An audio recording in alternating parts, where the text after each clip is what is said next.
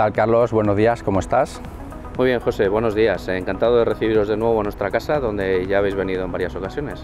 Pues sí, así es. Eh, seguimos apostando de manera conjunta en la sostenibilidad eh, real en la construcción y nos gustaría que nos contases eh, cuál ha sido vuestra experiencia en, este modelo de, verificación de construcción sostenible que hemos hecho conjuntamente. Como, como sabes, tenemos muy interiorizado todos los criterios SG. ¿no? Para nosotros la sostenibilidad es uno de los valores de la compañía y los aplicamos en todos los procesos de nuestra, del diseño de las viviendas y de la construcción.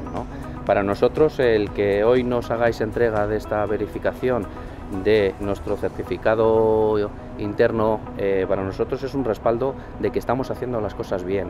Muy bien, pues eh, estamos de acuerdo, ¿no? que es, la apuesta eh, que tenemos que hacer de manera conjunta y, cuéntanos cuáles, cuáles serían los siguientes pasos o, qué tenéis en mente ¿no? para seguir apostando por la sostenibilidad. Nuestra apuesta pues, está recogida en, nuestra certificación interna Habitateco.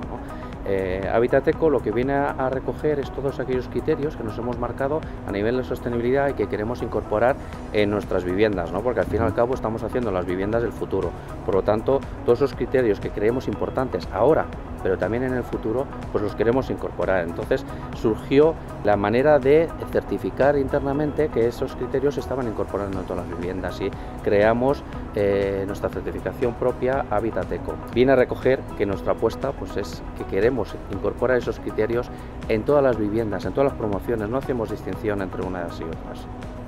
Muy bien, pues, pues muchas gracias y, seguimos eh, trabajando conjuntamente eh, por la sostenibilidad en la construcción. Muchas gracias, Carlos.